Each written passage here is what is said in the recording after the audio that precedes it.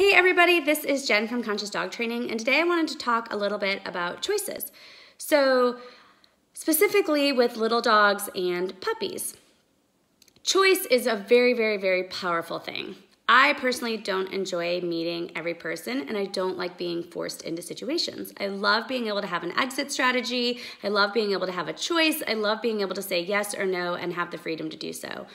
One of the things that I see a lot with little dogs and puppies as well is one, um, can I meet your dog? And you just saying, yeah, absolutely. Picking up your dog and taking them to the person. So one, you are literally holding your dog. Your dog has nowhere to go. And if they don't want to meet that person, they don't have that many options. They can one, just sit back and take it. Um, two, they can send some signals that they are not a fan, and then you're gonna say, oh my God, my dog is aggressive.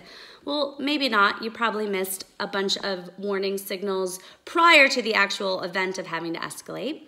Um, or two, your dog is just not gonna do anything and start slowly making those associations that I really don't like it when people come and touch me because I don't wanna be touched and I have no way to say so except to go back to number one, which is escalate.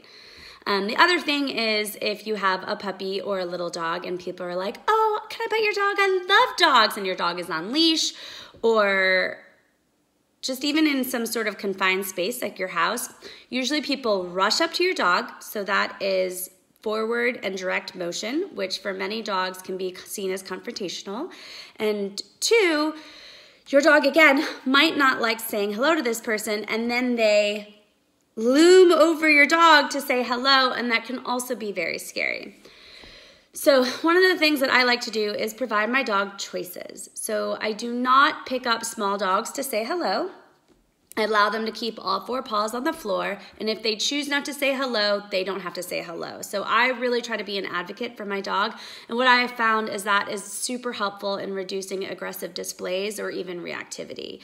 Um, Allowing your dog to say yes or no can also help with reactivity and just allow them to check in with you and create a relationship based on cooperation and communication and connection where they don't feel like they have to escalate and manifest behavioral issues because they they don't want to meet people. Um, I'm okay not meeting every single person. I don't like my personal space invaded, and I truly believe that dogs should have the same option and power to choose. And learning how to do so is something that we do a lot in our private training sessions. So, have a great day, everybody, and we'll talk to you soon. Bye.